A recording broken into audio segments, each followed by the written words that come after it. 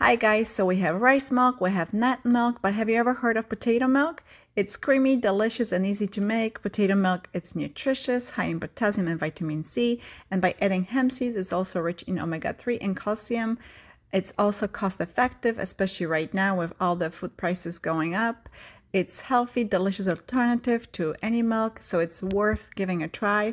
Let me know what do you think when you try, and the whole recipe is on my blog. The link is in my bio. Cheers to